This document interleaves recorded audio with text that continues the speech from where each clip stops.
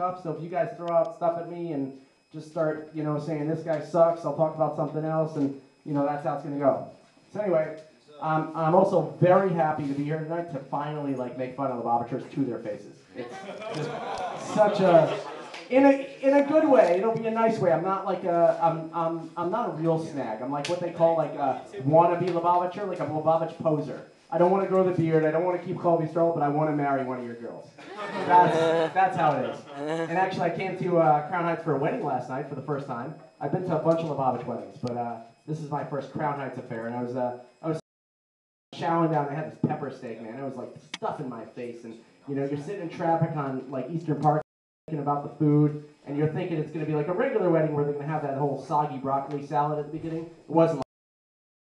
Like they give you steak, they give you noodles, all sorts of things, and I'm chowing, and I look up and everyone's gone. Everyone's gone. What the heck? And they're cleaning up the food, and I'm like, I'm in a, I'm in a scare. I'm like, I just sat in traffic for two hours here, and I'm a. So I'm running out, I'm grabbing plates, and everyone's like, no, we're going to 770. I'm like, what the heck is going on? Why are we going to 770? I just started at 770. And I'm like, I don't want to go to 770. And they're taking the food away. And someone's like, no, the chuppah's at 770. I'm like, the chuppah's at 7 is the most disorganized thing I ever heard. No one told me about this. It's not on the, it's not on the invitation. Where are we going? There's school buses outside. I'm like, there's school buses. Benos Menachem. I'm like, yeah, you know, it's the closest I'm going to get to being in a girls' school in Lubavitch, so fine. So I get on the bus, and it's one of those, you know, everyone smells from, you know, the pre-wedding, no one really took a shower because it was at 5. And I bet you 10 people in this room are related to the person whose wedding it was of. Because everyone's related. They all are. Geography is crossing his arms. Lubavitch geography is completely different than Jewish geography. Because everyone knows everyone. It's not like regular when kind of like, you know, walking around, you're like, oh, you know that guy on 13th Street and whatever, blah, blah, blah. He's walking away already. What is this? You know, I'm joking around. Um, okay, I rant. So, but uh, everyone knows each other. And someone saw me, and I knew them, and then I said I had a cousin. I have one Lubavitch cousin. But my one Lubavitch cousin, who according to my family went off the derech, by the way, which is completely, you know, you think, you, you would think it was something else, you know? I know, right? Exactly. And thank you for that. I appreciate that. So,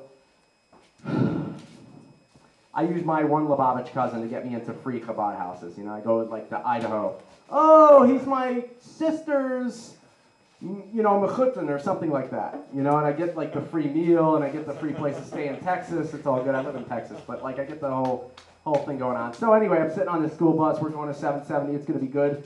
And then I'm kind of like standing around, it's completely dysfunctional, but it was cool. They have that like suddenly the music just comes out of the wall, you know, and everyone's kind of like davening Mariv, and there's a chuppah going on. There's like random people walking down the street, like, who is it? Oh, it's they're related to like Schneerson or something, whatever. You know, every everyone's related. It's great. They stop on the street, like, oh hey, what's going on? Everyone's like hugging each other. There's this like complete Jewish geography fest going on. I'm like, it's freaking freezing. I'm in my suit. I want to get back to the pepper steak. And I'm at 770. So, of course, I had to go into 770 to see if Charlie Buttons was there because I'm in love with the guy. And uh, he, he actually is an Upper West Side native. I don't know if many of you knew that. I think a lot of you think that he's, he's a Crown Heights native, but he's not. He's not. He's not from Crown Heights. He's from the Upper West Side. He used to hang out in the Carlebach Shul. And somehow, I think he came here because the Upper West Side became too mainstream. All the singles moved in. They kicked all the weirdos out people like my dad moved to Far Rockaway because they couldn't be normal enough and they didn't want to move here. So all the weirdos, you know, kind of, you know, don't really live anymore. So anyway, so I'm at 770. We come back. The wedding was completely, the food was amazing. I was impressed. The other thing they had, Chabad is very good with the whole like interracial thing. So good that they had interracial challahs, brown and white challahs. It was unbelievable. I was sitting there and there's just this like pumpernickel and egg challah together at last. If only, if only they can get water and egg together, then oh. we would be set. It would, it would be water and egg, right? You like, the, like the the water challah is so much better for like dipping in like grain and stuff. But the egg challah doesn't fall apart in the soup. I'm serious. It's so there's such like differences. You know, imagine if imagine if they had like a mix of matzah. You'd have like the whole wheat and the regular matzah. Someone would say it's chametz, guaranteed. Matzah. If matzah gets too good, it's chametz. Everything matzah, chametz. Nope, dusser, dusser. It's got like it's it's got little like extra holes in it. Matzah tam tams. Matzah tam tams are amazing. No, it's chametz. Yeah, you get these boxes, it's like matzah, not for Passover use. I'm like, who When do people eat matzah besides Passover?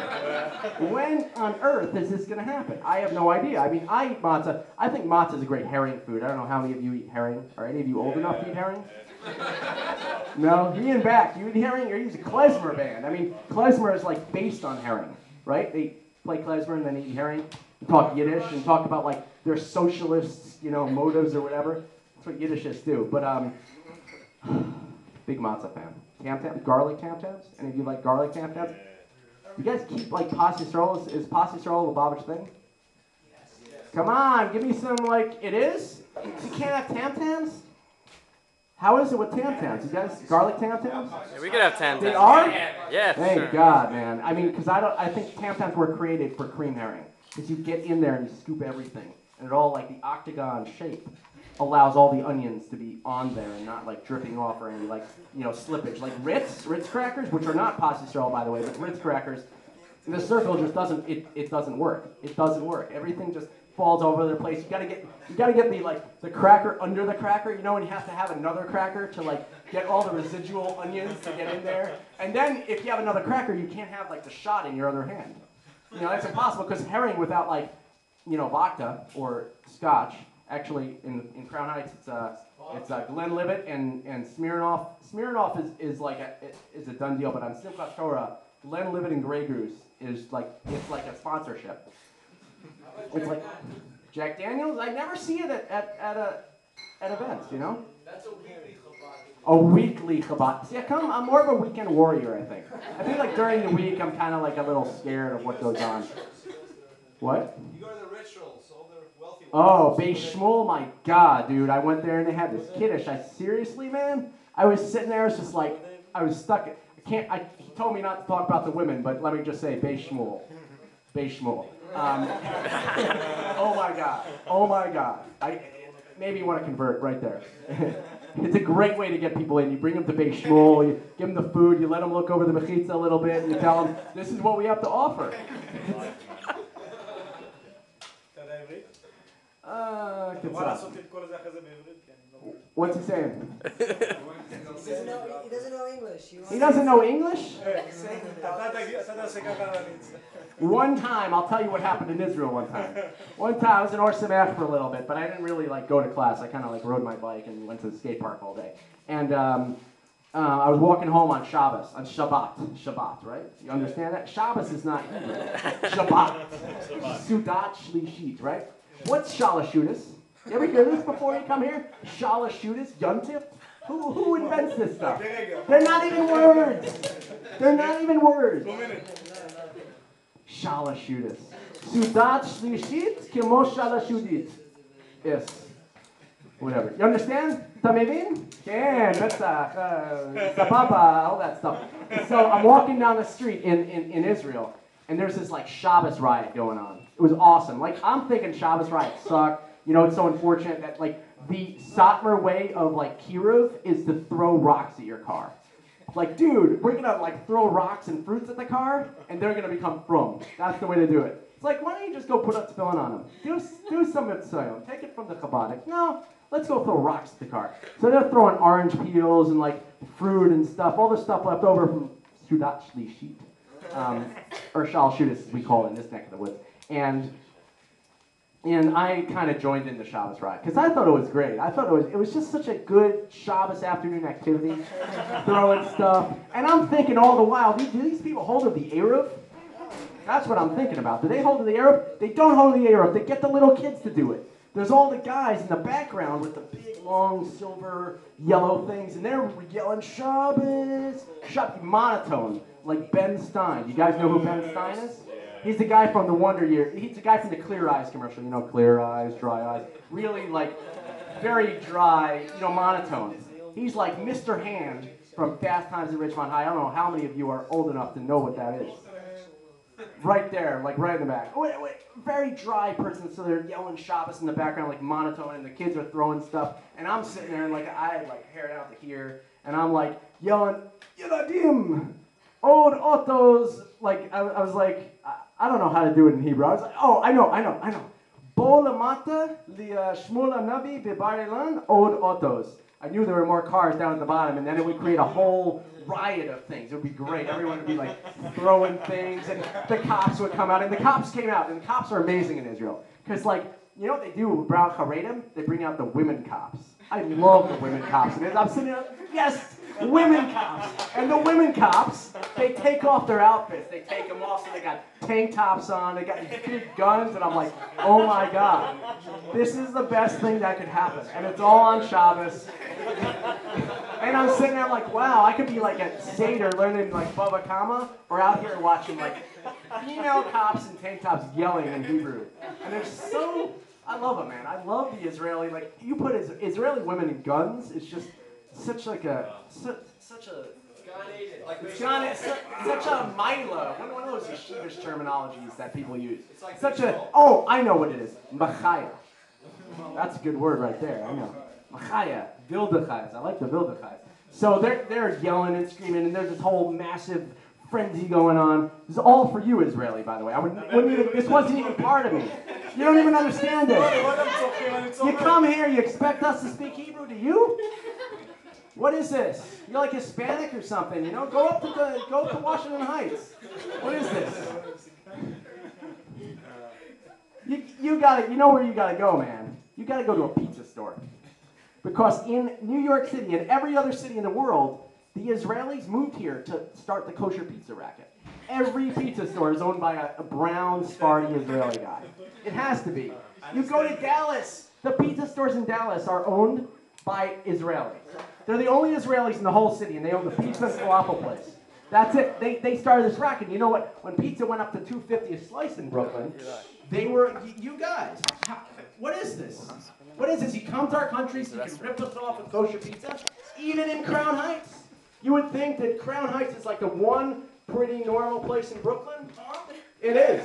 It's pretty. You ever go to Borough Park? You don't. You don't. You, you know. You don't get in Crown Heights. You don't get the Borough Park stare. Do you know what the Borough Park stare is? It's little Hasidic kids going like. they just they just stare at you. You're sitting in a pizza store. They're like talking in Yiddish amongst their like little brothers, and the parents are like totally oblivious because there's like 15 of them, and they're just like, you're like, what the f are you staring at? What are you staring at? And then I figured out that you're coming into their neighborhood, and they never get such close contact. The closest they get is on the Palisades at the gas station, with uh, like full serve. That's the closest. That's that's how it's going. But I, I hate the Borough parks there. It just bothers me, especially when you're davening. There's that little kid who's like tugging on his tati. His tati's like, I am not disturbing Shemoneh Esrei for anything. He's violent, chuckling, he's going like crazy. And the kid's like, I'm dying, I'm dying, pulling on his tzitzit string like it's a bell. You know? I'm dying, I'm dying. And the, the father's just smacking him away. You know? Enormous gussies, you know? So, and he's just looking at me. I'm like, I'm trying to freaking dominate here, man. and It's just not working. You can do whatever you want. They once they get that lock on, it's like a fighter pilot. They lock those stairs on, and all you want to do is just pull on their pants, but you can't. They're always a little too far. You know, just, come here, come here. So one time I was in, and I'm a, I'm a cyclist, and I was riding in full. I would not look good in spandex. So don't even imagine. Like I had that whole like third trimester thing going on. So. Aye. I'm like riding up this hill in Spandex. There's all these like turban women, you know, all the women in the shoulder pads with the turbans going on, and they're they're just rocking it old school in the middle of the street. You know, rocking it old school like it's it's prior to kugel making time, and um, and they're they're standing in the middle of the street. They got these like those clunkers, you know, those like clunker shoes that like if they kick you, you'll just die. You'll just fall down, and that's it. So. They're standing there, and I'm riding up, and I don't know. I, I wish I knew Yiddish, but I don't. That's why I'm not cool. If I knew Yiddish, I'd be the man. I'd just go into those neighborhoods, dress up, and like mess with people. That's great. and uh, and I'm riding up, and, and and I'm riding past them. They're all looking at me, you know, like some scenery, like looking at a deer or something. You know, the deer like a sweet. Yeah, a little sweet. Um, so riding up, I say, "Nu, was kiekst du?" And I ride past them, which means, "What are you staring at?" in Yiddish. And they all look at me like, they gave me the borough parks. There was like the borough park, Monsey, Lakewood, and Montreal stare all together.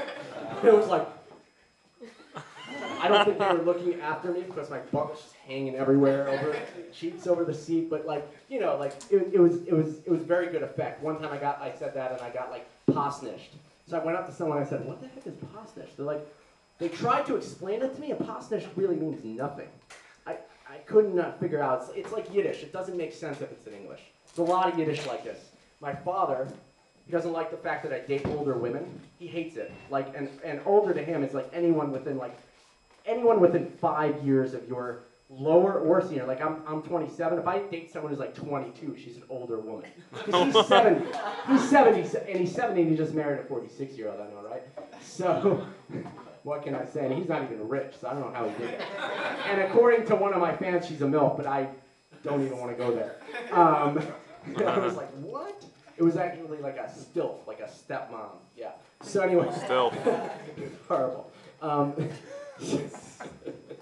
so anyway, so so one time I'm talking to my dad, and he says he just hated the fact that I dated, and I dated older women, not only 22 year olds, like 28 year olds. Oh my God, God forbid. Like in some cities, they pay you to go out with older women, by the way, because there's this shit up crisis. So they'll like pay you to like they'll throw all the baggage on you, and. Um, Really? I would do it. I would go out with girls just for the money. I don't even care about the date. Like, just to make them feel good. I always want to go out with these girls who never pay me to go out with you. It's like from escort service. You get seen, you get seen at the Brooklyn Marriott with a good-looking younger guy, and you're like, you know, some like just blob who no one wants to go out with. Imagine that. It's like, Yankee, I saw, I saw uh, with a guy. Oh my God, you see this guy? He's so normal. What happened? How did she? such a never? How'd she get such a guy? I think she paid. Or they just paid for me. Like I think like running out of the crest would be great. Like just like if the girls paid for guys, once you go on a date with a girl you don't even want to go out with, and then you have to pay for that. If they would buy you dinner, imagine if girls took you to Prime Grill. You didn't have to take them to Prime Grill. Everyone would be going out with everyone. There'd be shitter like shitter proliferation. There'd be like so many things. And the girls make more money than the guys. The guys are stuck in yeshiva, and the girls are going to become PT, OT, speech therapist, whatever. One of those things that they go to Touro for, you know? so, um, so anyway, my dad calls older women. He says older women are ice shanas. Does anyone know what that means? No. He knows. He knows in the back, guy with the beard, the guys with the long beard. Anyway, it means that an older woman is, is like already banged up by shanos. And I'm like, wow, that's such a clever term. Like, where? And then I found out it's not just for older women. It's for like used cars that need to be junked. Ah. It's for like all sorts of things that just need to be like thrown away. Like my computer's f- five years old. Uh, I used to clap their shanas, you know. It's like Ice Clap Their Shanas. shanas with like one leaf hanging off.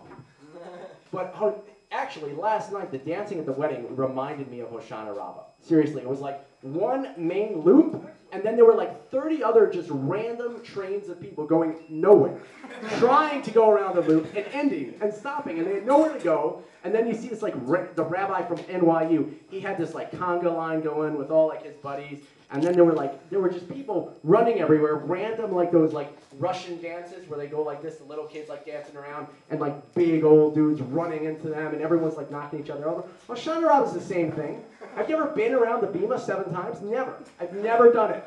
No matter what shortcut I go, you know, there's always that guy who like he's running with his head down. He puts his brim down and he runs around like through like chairs and stuff. And he's got his he's got his spear. He's poking into people and he's trying to get around seven times. And they, they still don't make it. They don't make it. And you have no idea what they're on anyway. Suddenly you're you're you're, you're like "Ashanu Machabadini," and then it's like Evan Shasia. There's like all these random phrases that you say, and it's to me, it, it sucks because they all like at the end of Hoshana Rabbah, there's that Anenu stuff. I don't know how many of you guys know what I'm talking about. There's all that stuff that you say over and over again. That's like part of the davening that I skip.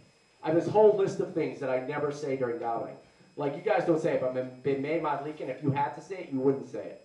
It's just like it's. Hmm. Imagine reading a Mishnah in like three minutes. I don't know how can do it because they like do that whole mumbling out loud thing where they just keep going and they have to remind you it's Yalav like 16 times. Those guys, they can do it real fast. I don't do it. You know what else I skip? The Wednesday impossible. It's like this long. The other ones I'm like, just take me to Friday. I'm pretty sure at like- some age, I'm pretty sure at some age you just stop saying the words and start humming. Dude, totally, man. You know what I do? That's right. Sometimes I'm like trying to like take my laundry out. I'm like, you know, like all sorts of things. I have this whole like list of things I've done while davening. Like I have like my tefillin on and I'm like gardening outside. I'm like changing a flat tire. I kind of like those old like those old Hasidic tales where the guys wear tefillin all day. I'm so holy. Cleaning my toilet with the tefillin on. I'm cooking, cooking breakfast. I got the whole the whole thing going on. Oh, what's tefillin on? Except that's all during my like three minute abridged chakras. I say like brachos and like suddenly I'm at 20 and I'm and I wind up in the most random things. I'm davening like Hamer La'aretz and I wind up in Takab Shofar. I don't know how this happened. I have no idea. Like I'm, I'm like saying like like like Birchas Hashachar and I'm in like Hallel. Like what is this? The last two days I forgot was supposed to. I'm like okay, I'm gonna say it after I eat breakfast, and then it's like Mar. I'm like ah, I forgot what's up again.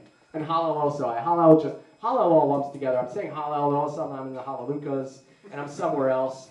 But there are a bunch. Uz Yashir, I, I've never said Uz Yashir in my life. Do you know that? I know it's like Wow. pathetic, right? Exactly. Wow. You know why? Because in snag sitters, they have it like split up.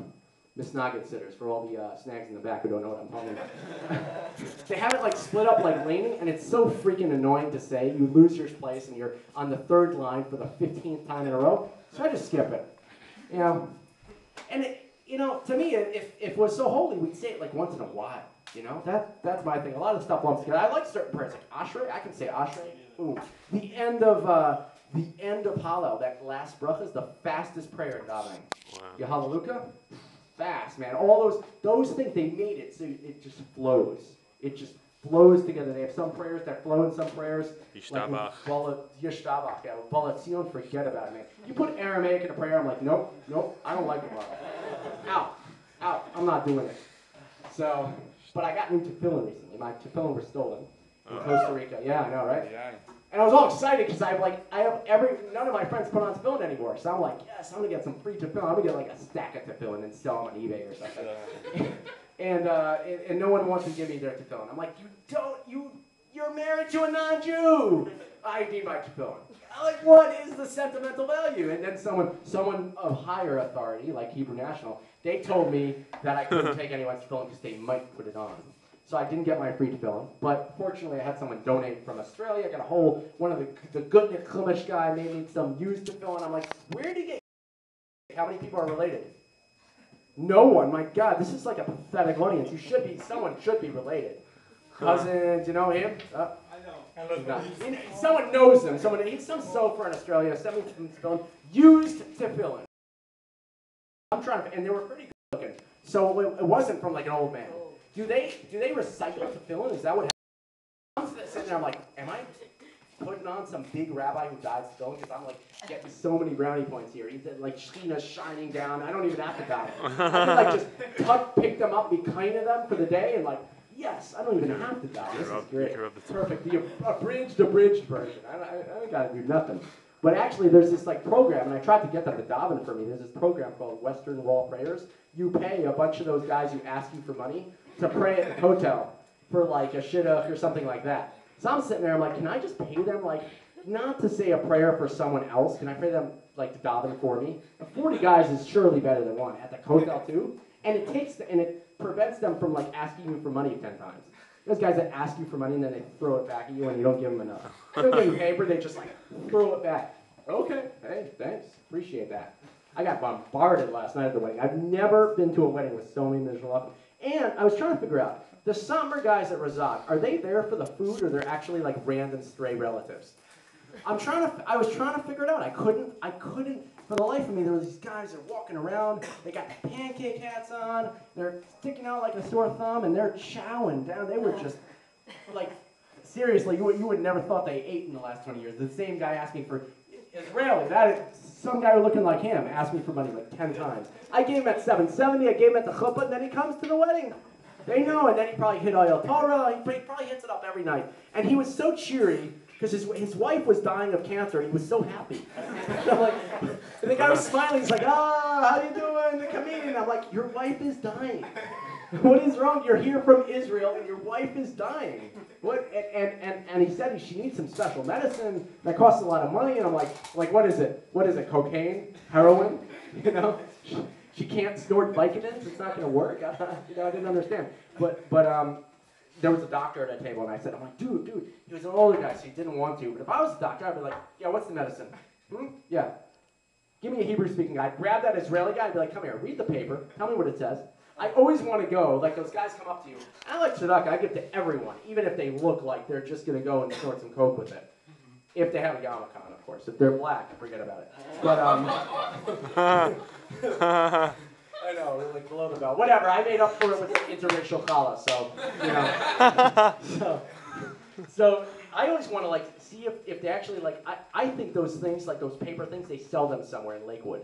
They sell them and they say like you know like in, if you read it in English it'd be like go f yourself you moron I can't believe you're giving me tzedakah signed by like Donald Trump. But in Hebrew wrote Donald Trump? Oh it sounds it sounds pretty from right? And it's like crump they crumple it up and they put like like like Havdalah wax on it. They use it as their Havdalah holders. That's what I think they do with it. And they're like yeah this will look used. We'll go to the burger spot and get it tonight. Yeah, that's right. We'll get those rich Syrian kids with those tight pants with those faded lines on them.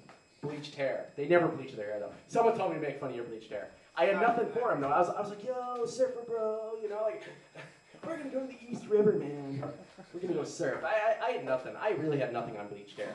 I one time um, did, uh, I did highlights when I had like a long, longish hair.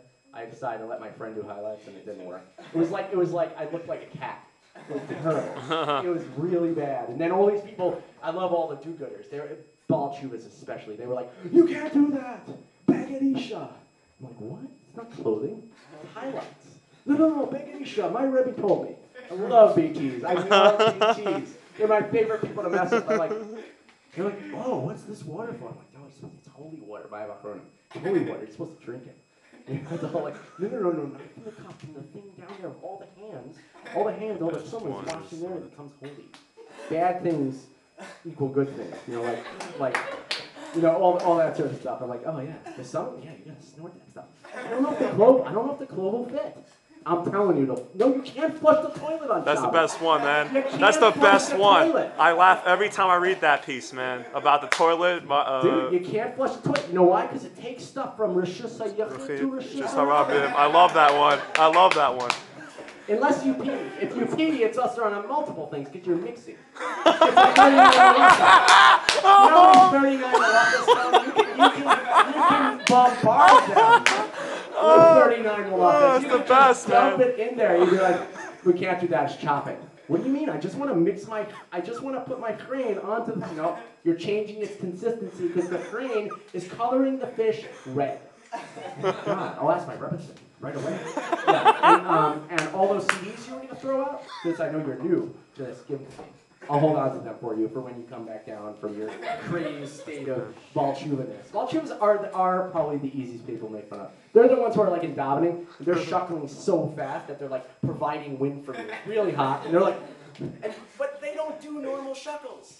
They're the violent shuckles. They're like all over the place. They're like, you know, you put on some rave music and give them light and they'll be going. And they're the guys you can hear. You can hear them clopping Salah Lanu from like 300 yards.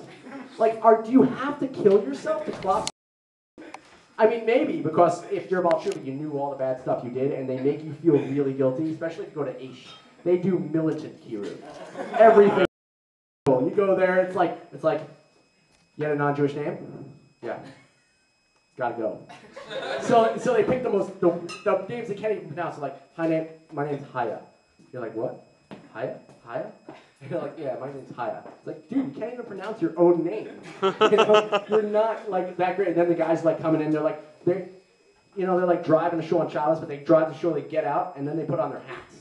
You know, it's much more important to be externally from than internally from. Much more. You have to have the look before you actually do anything. Because how are they going to let you into? How are they going to call you up for an aliyah if you're not wearing a hat? Seriously. I was in shul this Friday night, and, and this is never. This is. I told my dad this is why I live in Texas, but it's really not. I just live in Texas because of the weather and the skate parks. But um, I'm sitting in shul, and I'm in shirt and pants, and it's Far Rockaway for you. And this guy turns to my dad in the middle of davening, right by that B'mei Madliken, like, you know, switch over thing, like right after, like, Ms. Marshir, no one really knows what's going on, and they're, like, waiting for the chazan.